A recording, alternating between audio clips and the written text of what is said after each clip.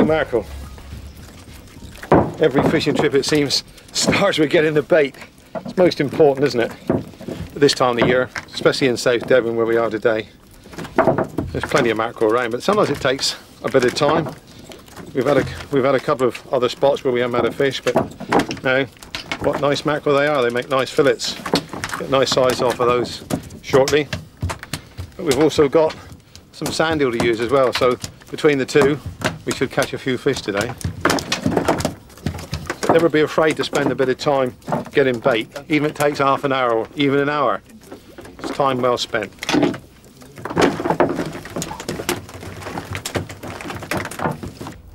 Now when you prepare your bait, you need to be neat and fussy because I, I think that fish are fussy as well. Now, you wouldn't like to have a meal that was not prepared properly.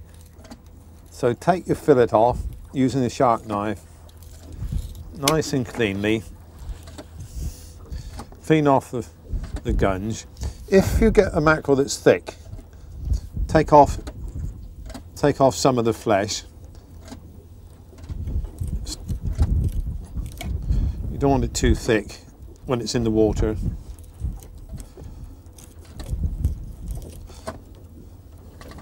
Providing it's not too thick, then it flaps nicely. Now there's lots of ways you can cut mackerel. You can cut it like that, so you get a, like pieces like that. You can cut it that way. You can cut it long ways. Or you can just square it up and use long ones like we were using today. In which case, if you want to do that,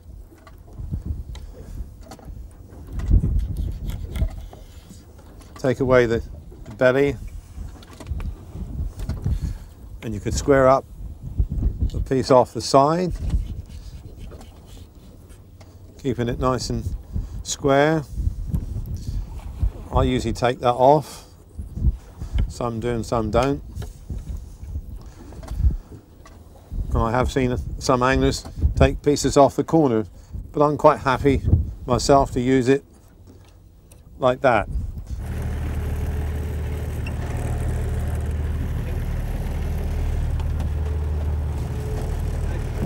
Important thing at the beginning of the day, of course, is trying is preparation, as I've said, about getting mackerel, and that's getting the rubby dubby ready. Not a lot of people use rubby dubby, but if more did, I feel sure that they would have more success. It's always a dirty, filthy job. But Adrian's used to this. He gets his hands in it and mixes it all up. It's all good stuff. All you need to do is get what we're doing today. We've got some mackerel. We've got some of the coarse fishing scents that we pour in on top. Mixed up mackerel. Put it, put it all into an onion bag. You can get plenty of those from the uh, greengrocers. And then when we're settled down and anchored, we should, we should just drop that over the side and then we're ready. And what, what happens is that this runs a nice scent all the way down the line, all the way down along the seabed and attracts the fish.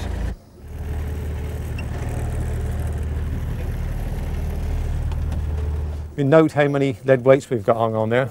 That's to counteract the tide because we want that to hang right down on the bottom.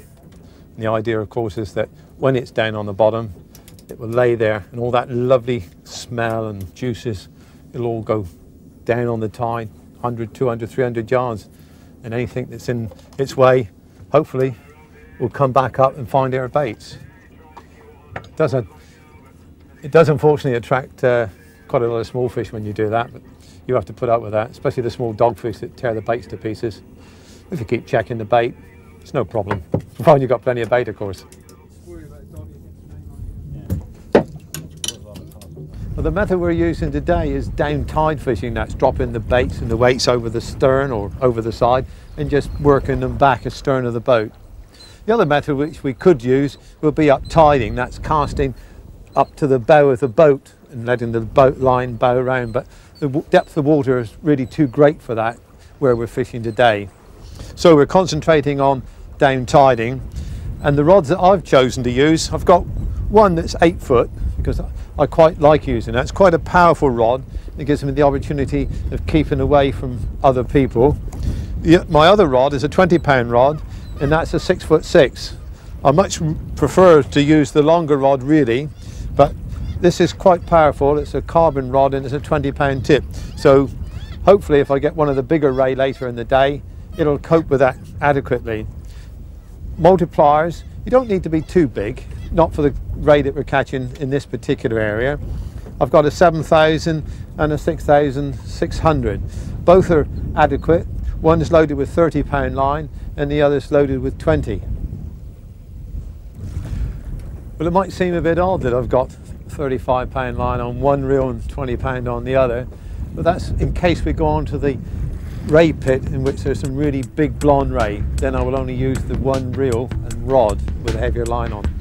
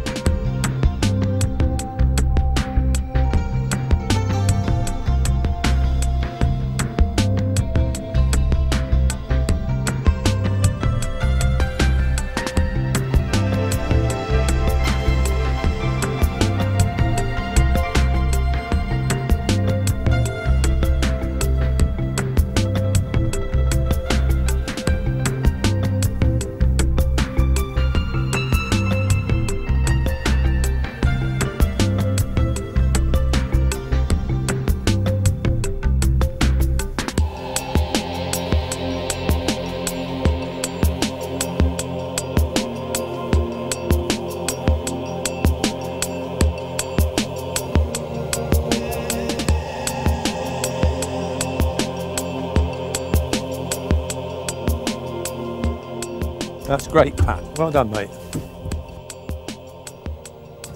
So, what do you reckon that one is, Pat? 10? 10, yeah. Yeah, 9, 10 pound. I would have thought so. Gives us the opportunity now, of course, to have a quick look at the blonde ray. As we said, it's not a great big one, but it's around about £10. You can see they've got fairly uniform spots all over. You've got more or less only two sizes, the bigger one and the smaller one there, and you've got these little white blotches which are fairly uniform all over the, the ray. The spines up come up the tail, but they stop about at the top there, just about there. But the easy way to tell, it's the only ray that has the spots which go right out to the wing edges, which you can see there. On all other rays, they tend to stop with about an inch border, at least, all round. Because the rays live on the bottom, they have difficulty in breathing when they're laying flat, of course. So they have these spiracles on top of the head, which are behind the eyes, which they suck in air and water, or water rather, through there. And you can see how they close, open and close. And we can just see how big that is, what happens. That comes out. It's almost telescopic really when it's when it's laying on the bottom and feeding. That opens out and it sucks the food right inside.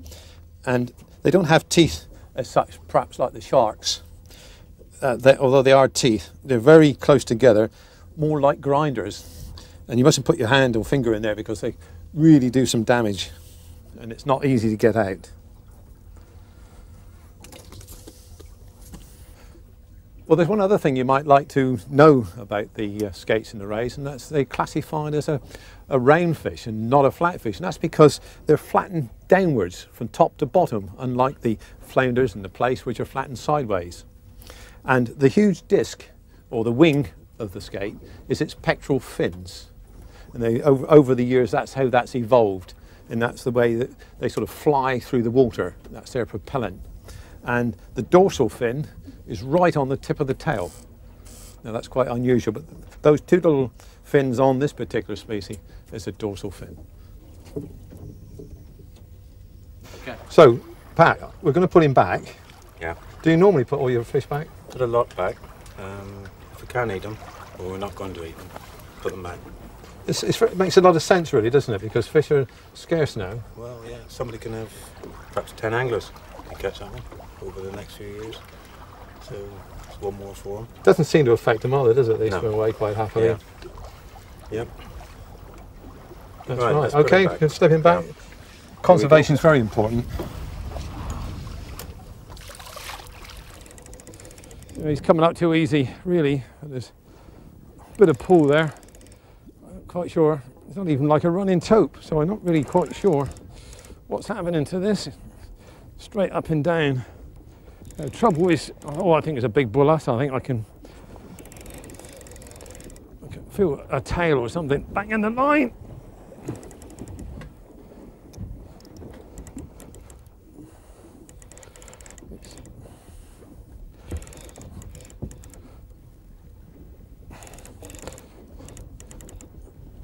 It's a tope. It's a tope. Oh, I wonder if that's the one that's been after us all day, pinching our bait. I get yeah.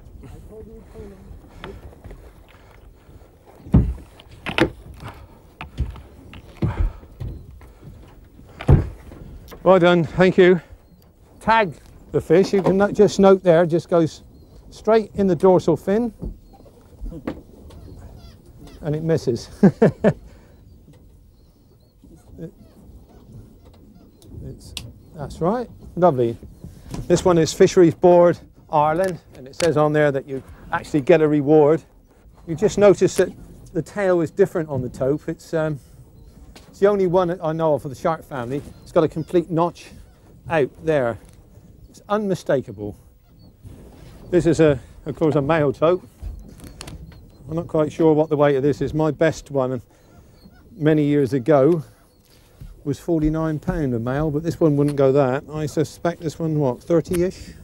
Yeah, 20, 25. 25 to 30, this one, yeah. It's uh, 59 inches. 59 inches, yeah, correct? See, the thing is, when we put tope back these days, we, we don't want to hang them up and weigh them. They could, pardon? 20. 20. It's much better just to measure them and then we can slip them back over the side again. Well, these days of conservation and trying to preserve the species, especially tope, we don't want to damage the tope more than we have to, so they're only measured. We don't hang them up and weigh them or anything. There's no point really. We know what it is, we've caught it, so we'll just let the hook out and we just drop him back overboard again.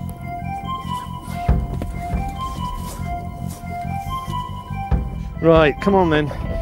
My beauty, away we go. Let's just put you down in there. Oh, I'll just hold him by the tail first till he gets his strength up. All right, I think we're all right. And away he goes. Yeah, he's all right. Yeah, there he goes, look at that.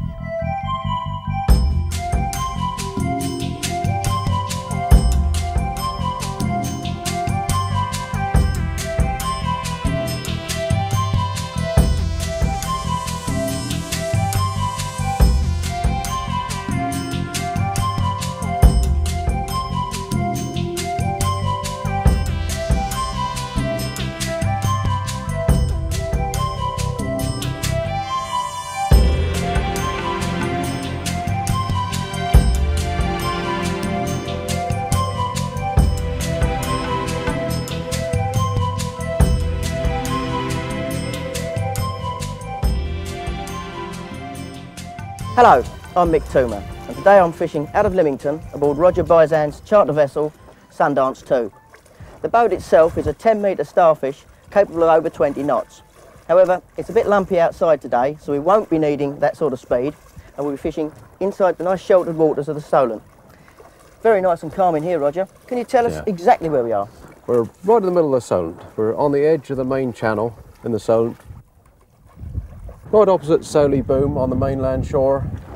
Yep. We've got Newtown Creek over there on the Isle of Wight. And right up ahead of the boat we've got the Needles. That's right at the western end of the Isle of Wight. Smash it.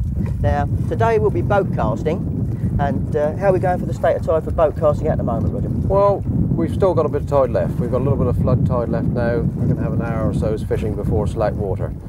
So we'll get a little bit of fishing in now. So, better make a start. We better make a start now. Right. Get on with it. Let's just have a look at the tackle I'll be using today.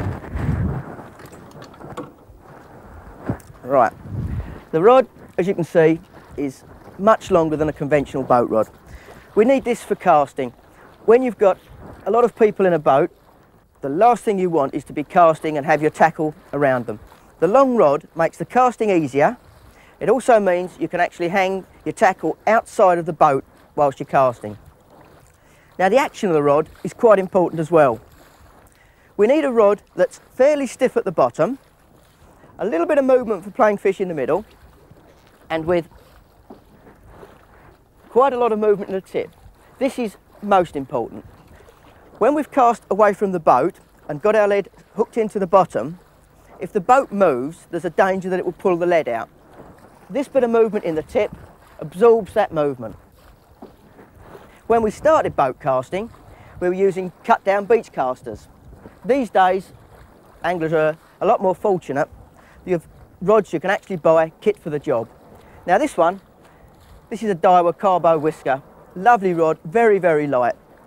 As we can see, plenty of power in the bottom, going through, bit of action,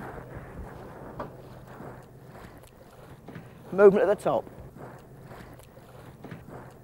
Moving on to reels, the reels need to have several attributes. They need to hold quite a lot of line because we're using relatively light line, 15 pounds line, 18 pounds line. Now, if you hook a big fish in a lot of tide, on that lighter line, you need to be able to let it take line. So we need a reel that holds 250, 300 yards of line. We also need a reel with a good clutch.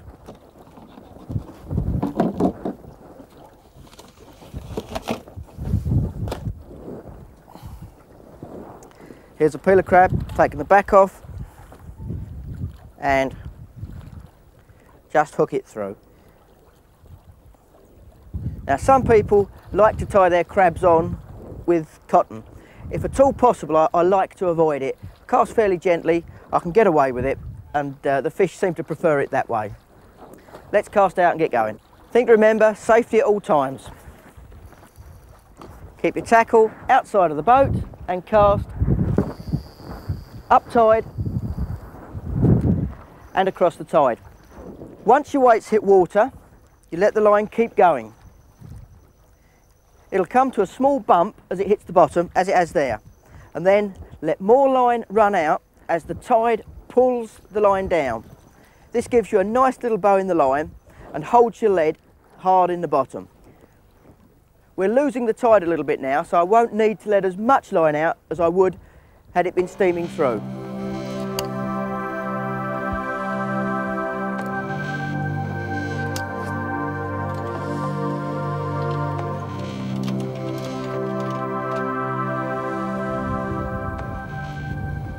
I think I've got an inquiry. I've changed over to, oh, look at that. I've changed over to a breakaway. So, oh, and it just came straight out of the bottom and it's come straight to the top. I've got a big lump of weed and something is on, ah, ha, ha, ha, ha, ha, ha. I cast very, very close to the boat because of the weed and I've had a, a big, uh, Roger, got a net mate. Yeah. We got, we got a spiky creature. He's, he's wrapped up in weed. I don't think he Oh, knows. What's, I don't think he knows what's going on yet. Okay. He hasn't done a lot at all. He doesn't know what's going on. He doesn't know what's going on yet. Oh, beautiful fish. Yeah. Lovely bass. I've only got a short side. line all the time. I only just, I only just chucked it out the side of the boat. Oh, lovely. Look at that. Oh, you Yeah, so and good so. job. You so and Come on, so. You so and so. Wonderful. Ah, lovely. Ah, superb. Look at that. That's what we want. Oh, That's just what we wanted. That's what the boys want. that is a cracker. That is a cracker. Look at that. Beautiful. Not a scale out of place. As you can see, that didn't fight as well as people say bass do. For two reasons for that. It was wrapped up in a lot of weed and some over it, and bass aren't the best fighting fish in the world. On very light gear, in very shallow water, in very clear water, they go well. But otherwise, I've never been over impressed with the fight of them. But they certainly are a beautiful fish. Look at that one, not a scale out of place. Absolutely superb. Now, several things to be wary of with bass. They've got a, a spiky top fin, which you can stick your hands onto and get quite a nasty gash. But worse still, the plates along the side there of the gills are razor sharp and you can end up in a, a lot of bother with them. So this is a, a lovely fish, five pounds or so I suppose. Um, I was getting to despair about getting a bass and come down and first chuck, and very, very short cast, very little line out, and wallop, we've got one. Absolutely lovely, I'm really pleased with that. Always pleased with a bass. That's, that's really nice. Now, the old bass has taken a hiding commercially over the past few years. They're worth quite a lot of money, a silly amount of money, I feel. And it's, it's getting to be a red letter day when you get a bass. Because of that, I don't tend to keep them these days.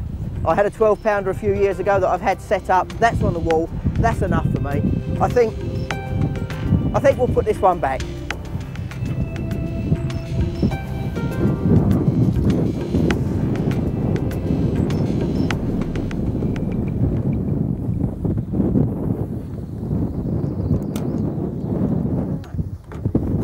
One rod back. Wow, away again. Oh, this one's gone down tight. The trick is, is to keep winding, wind, wind, wind, wind, wind until you catch up with a fish, which I'm not doing. Oh, cool, mustn't do that. And when you catch up, lean into it. Oh, it's a big this, whatever it is. It's a fish, but it's very big. Very shallow water here, mine.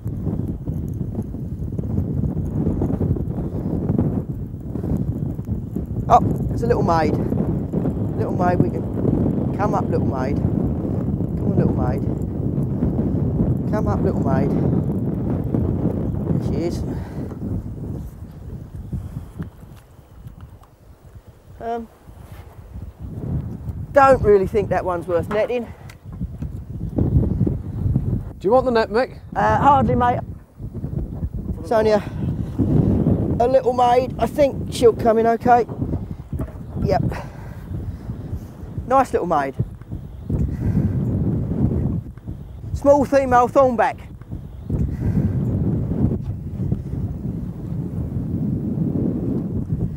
That one would probably just about make the legal size limit, but um, I'm not that hungry for a fish dinner, so this one can go back.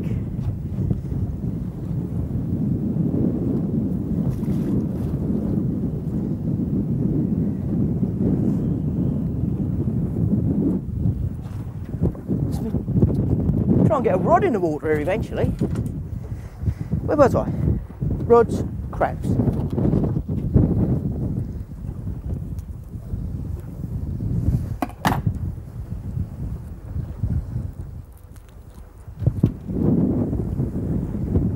Right.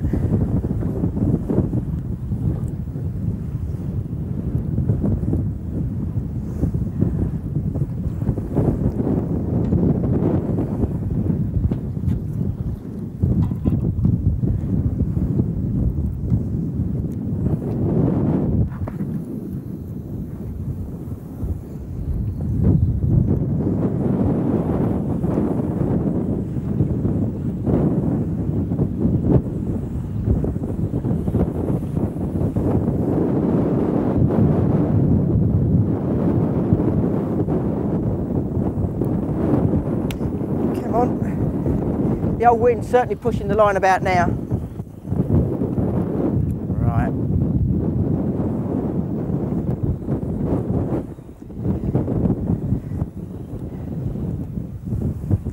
We're in business again. The tide's slackening off now, so this next rod I'll cast further across the tide and that'll pick up a little bit quicker. If I can get it in the water before this one goes again.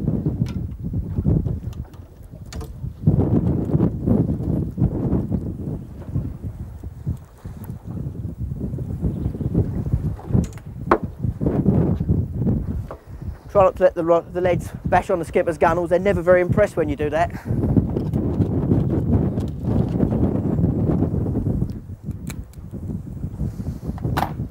Not the best of crabs now. I'm, now I'm getting a bit short on bait. But, God, I've been done. Look at that. Mate of mine said, I got got a few uh, peelers left last night. He said, you want them? I throw them in. Yeah, thanks very much. Yeah, we're out tomorrow. And look at that. He's bowled me a googly. He's thrown one in that's not a peeler. Sorry about that, crab. God. Miserable so-and-so. That one's a peeler.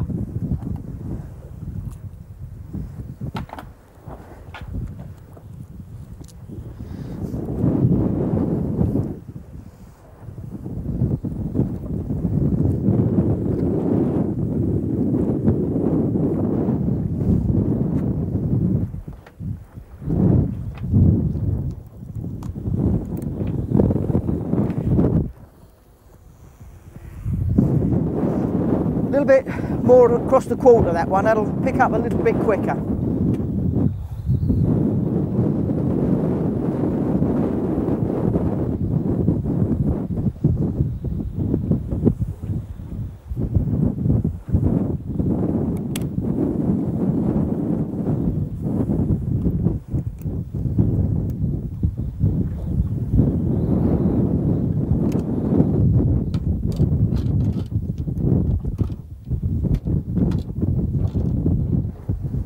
Well, I think that's about it for today. After that short spell of activity, I've sat here for half hour or so without a bite. The tide's pretty well gone now. The wind's picking up again, and it's it's yawing the boat across my tackle. But we've had a fairly good day considering. It's been much too rough to get outside, but we've stayed in the shelter, and with Roger making us three or four moves, he's found us a few fish every time, which proves it pays to go with a decent, reputable skipper. And uh, today, Roger's certainly done his work.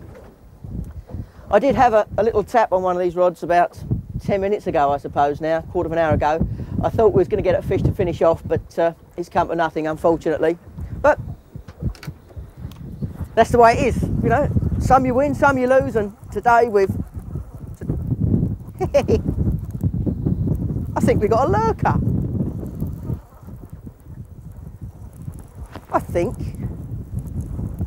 I think. Yeah, we have. We've. Uh, oh, we got a lucky one here. My little bite that didn't develop. The fish has obviously hung on and he's still sitting there. And it's not a bad little fish. There ain't a lot of action in it, but it's a fish and one to finish the day most certainly. Yeah, not a lot of movement with him, but we got a net, please, Roger. I think we're gonna.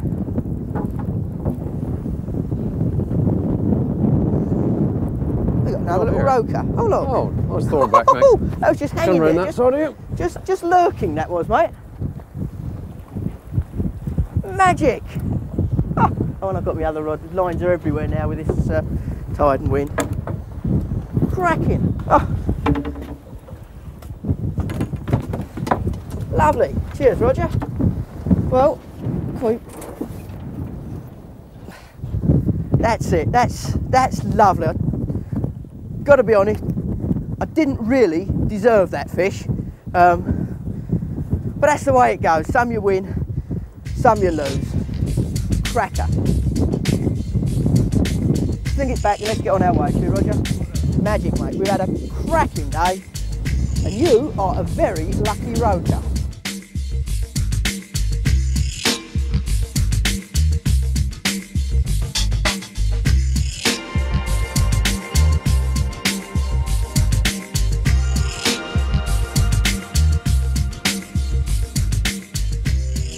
We've arrived at the wreck. We're about 23 miles out, and the weather really has improved beyond anything that we really anticipated. The four that we were supposed to get hasn't materialised. It's about a three, and we seem to be under a nice box of clear blue sky. So uh, all we need really is the pollock, because that's what we're going for first.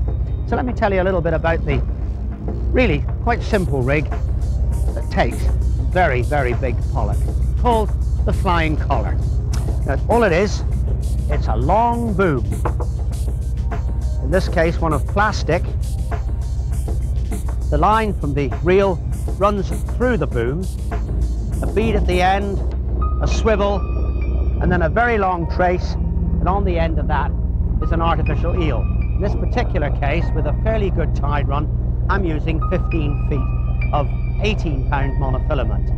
The weight to carry the boom to the bottom, as you can see, is simply on a link which is nipped to the boom. It's a very, very simple, highly effective rig to catch pollock. Uh, hope that we'll be putting one or two good fish on it quite soon.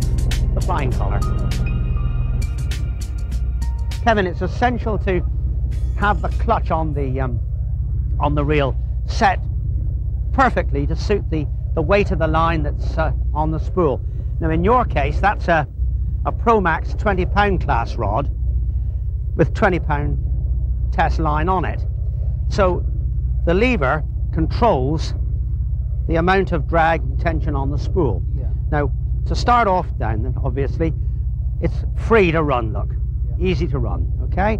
So after we've started to let down, you control the descent with your thumb all the time. And if you don't do that, you're going to get the most awful overrun, and you'll be spending the next half an hour trying to sort out the mess.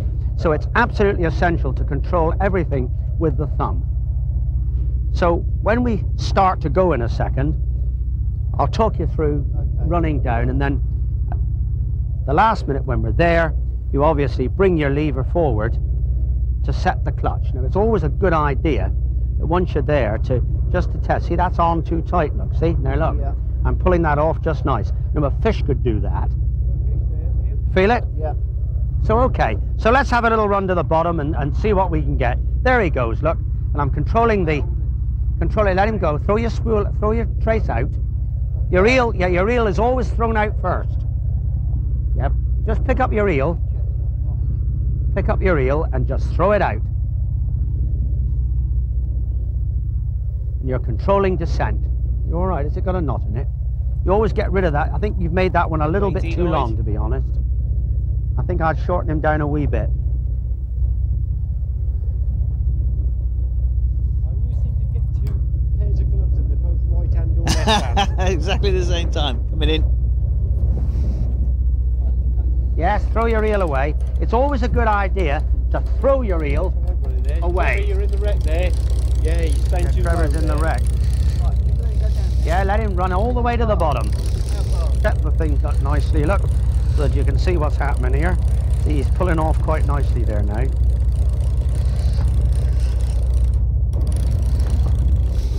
Let him come off a little bit. And there he is. Not a big fish though. But he's coming along steady. Yeah, I got him all right. Not a big one, but it's a good start.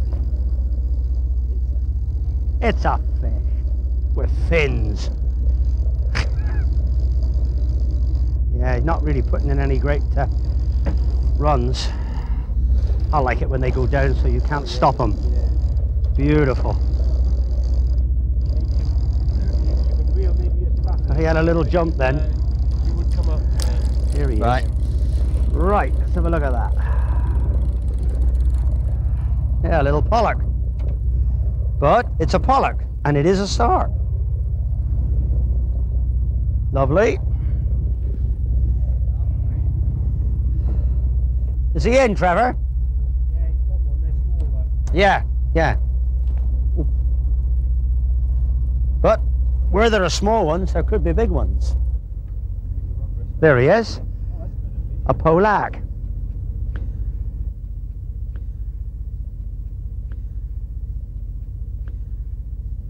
Okay, so this is the pollock.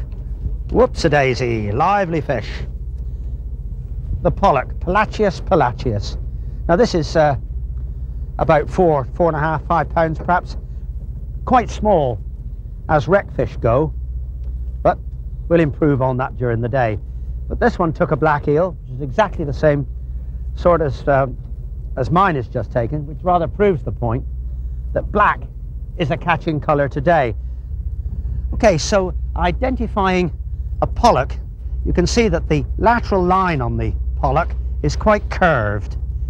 See, it runs down very, very steeply from the, from the head and then flattens out and runs all the way to the tail.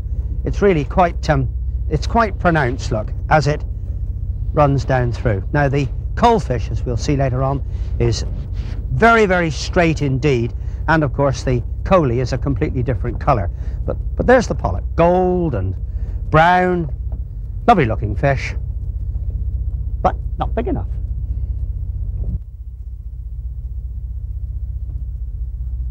Right, there he goes. That's a better one. Lovely. Whoa, look at that. That's more like it. Beautiful dive. Look at that. Lovely curve on that one. Look, Lloyd. Beauty. Come on, my beauty. The secret, Kevin, is to be smooth. You don't want to go hammering the rod up and down in the air or anything like that. You hold it firmly with your left hand and then wind when the thing has stopped its dive. You then gradually retrieve. And there's yours coming. Okay, so you got that one all right. That's a better one. Lovely. So we're coming along the road here quite nicely. Yes, we're beginning to make progress.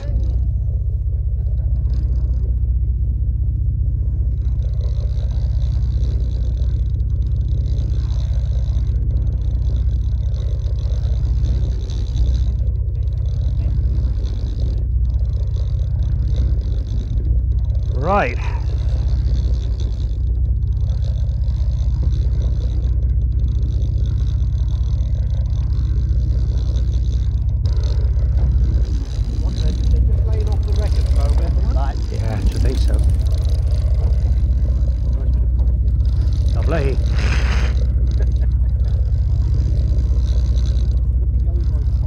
I do like a nice bit of pollocking.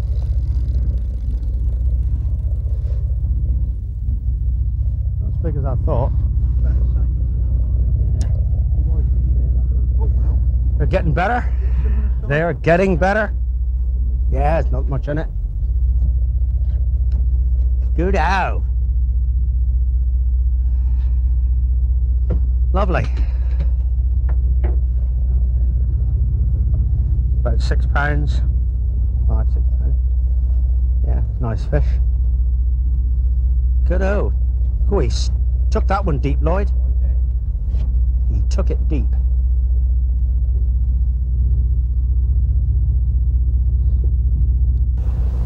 Well, the tide has come up to slack water, so we've switched to conger tactics now. We're not actually going to anchor down, we're going to drift very, very slowly over the wreck. So let me show you the, the technique and the tackle, and also, of course, perhaps more important of all, the bait and, and how it's presented. Well, the tackle, I'm using a, a stand-up stick, 30 to 50 pound class. It's matched up with a multiplier, in this case, uh, a lever drag Fulmer 900 model. Now the stand-up stick is uh, in classes from a 30 uh, to 80. It's all inbuilt into the same rod. Wonderful advantages with that. It has a very, very fast tip, which in fact can almost bend in under itself. There's a tremendous action there. Now the trace, well, it's it's a 50 pound line, by the way, and the uh, trace itself is 250 pound monofilament. I've got it merely rigged on a little slider. In this case, just a simple swivel. That's all you need. You don't need to go in for sophistication and, and expensive end rigs. It's a swivel connected to the weight. A bead cushions against the swivel of the trace. The trace itself is two and a half feet, 250 pound test monofilament. Now the hook, in this case, it's a 9-0 stainless. Now here's the bait. It's a flapper, but putting it on the hook, take the point, you find the mouth of the, the bait fish, push it down as far as you can go, and push it back up so that it comes out through there. Now there, that's really very, very attractive indeed. Conger should swallow that, no trouble. Let's go down and see if one will.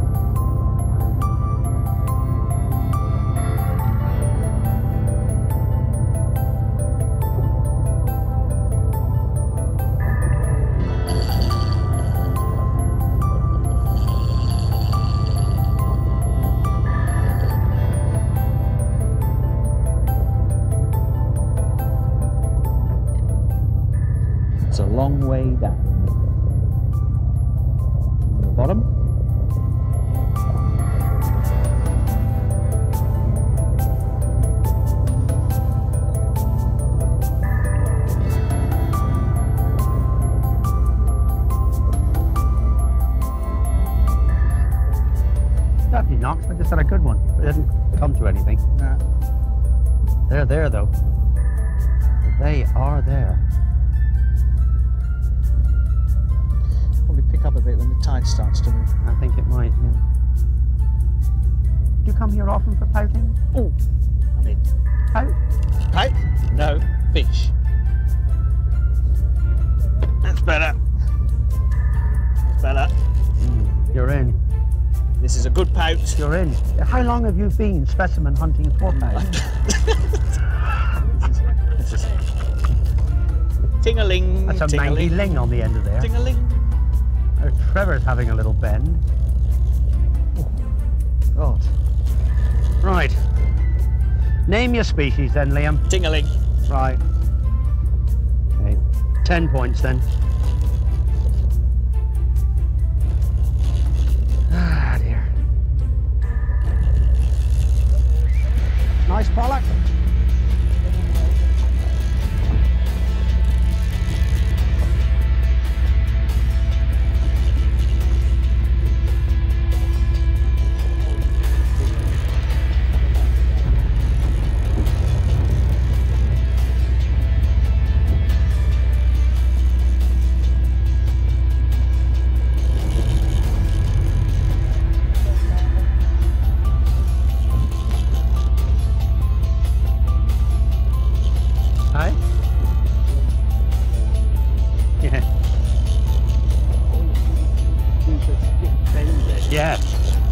See it then too.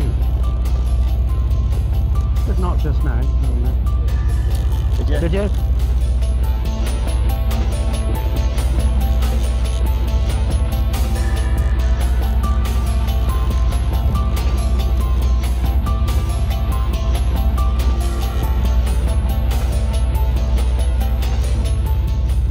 We got there? A ling. Little conger. Small conger. A little conger. Well done. Thank you. Thank you. Definitely. Look, it just You spit the the- mackerel clean out of the look. Spat The the mackerel right away. That one goes Spinner. back, Kevin. A strap conger caught by the specimen outing hunter. Got it? yeah. And released. Yeah, we don't keep fish this size. And here he goes, away to live again and to grow That's what. That's the T-bar I was telling you about. to become in 25 years a record fish.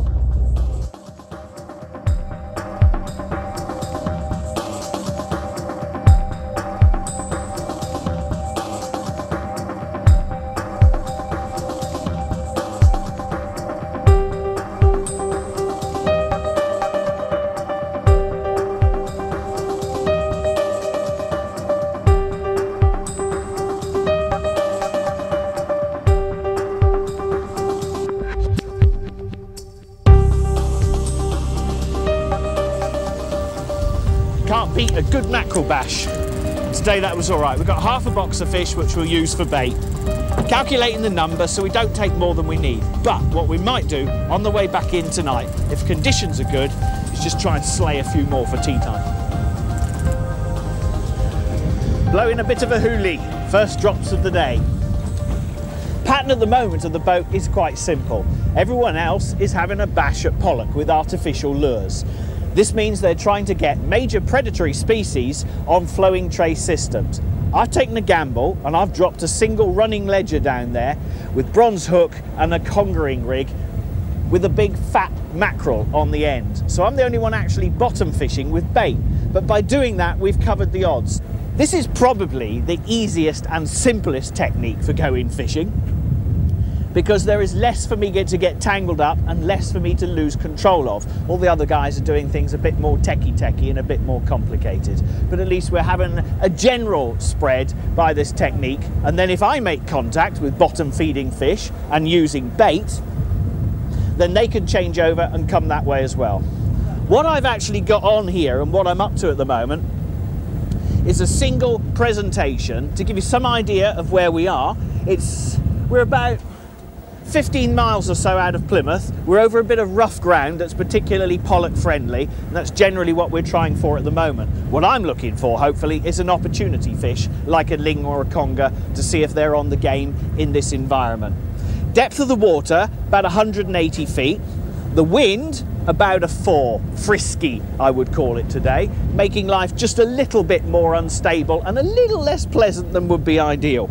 But by locking myself onto the side of the boat, by managing to get myself upwind of it, as it were, all my rigs and gear are heading away and less likely to tangle with them. The rods on the other side of the boat are all probably coming underneath and fishing generally underneath the boat as we speak. And I've put on a bigger weight to try and drop down sharper, but I'm probably in effect somewhere about 15 yards away from the boat down the bottom there now. I haven't had a single nibble in any shape or form. I haven't even got pouting or anything like that, having a little grab. So I may bottle out in a while and have a go and see what they're doing with the pollock fishing.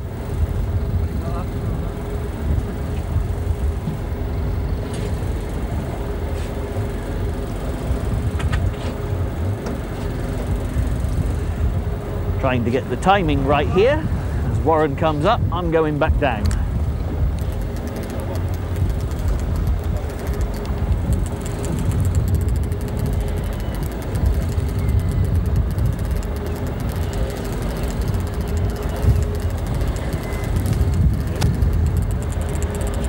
Fish nearly up. Where are we?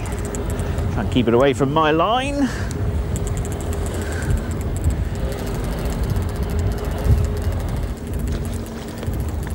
Good condition early summer fish.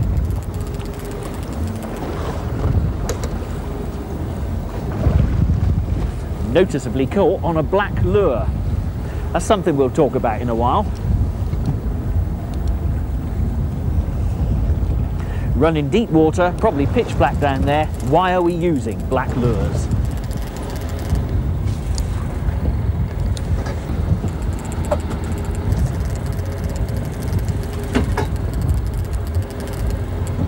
Black lures, eh? Why does a black lure work in the dark? Simple answer is I don't know. I might ask the skipper later, but I've caught more pollock probably on black Eddystone lures than any other one. And that's all it actually is down there.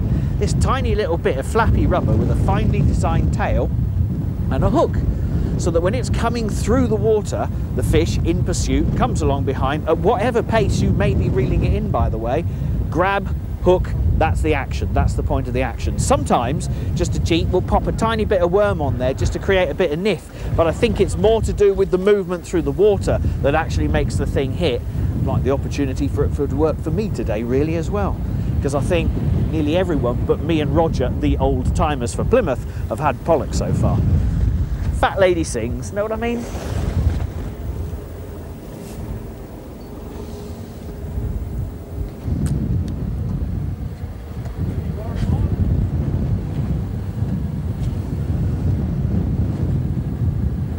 Alton Towers time.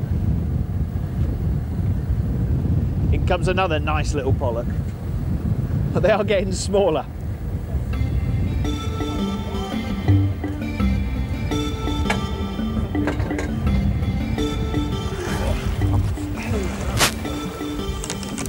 come round and have a look, but hopefully still live mine down there as well. How decisive? You've got to be looking at about 40 pounds. Okay. Gambling weight, eh? I Before would seeing. imagine, yeah. There's actually a string of pout holding hands.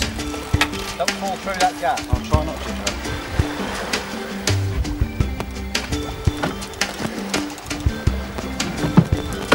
Bit of plunge there.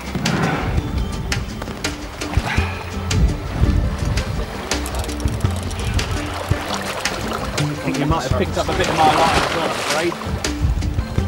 Yeah. yeah, sign of a fish. Okay, well done, Rod. Squealy Ely.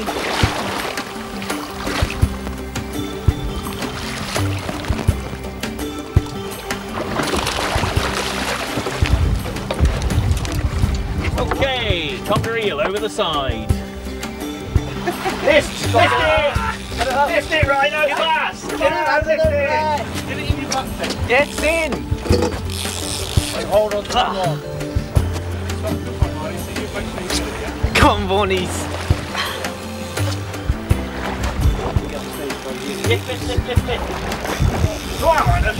I'm trying to lift it.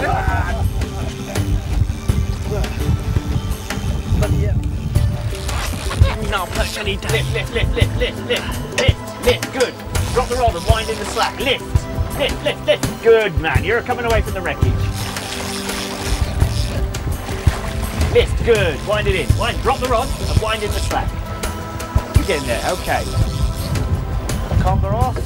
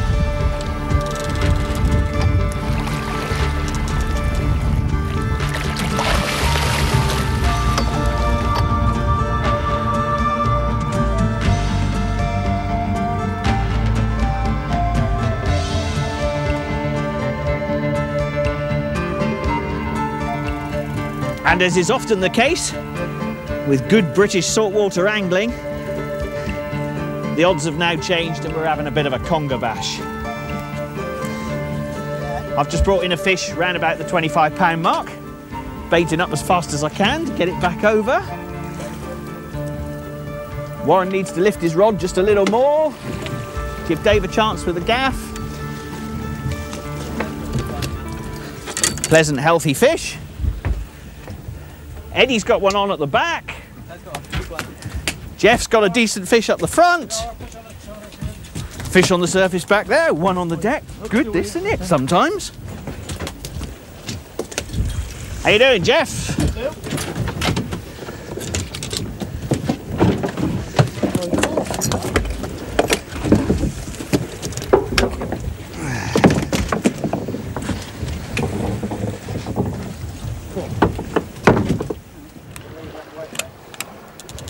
We reach the end of what has been an exhilarating day of windy charter boat fishing.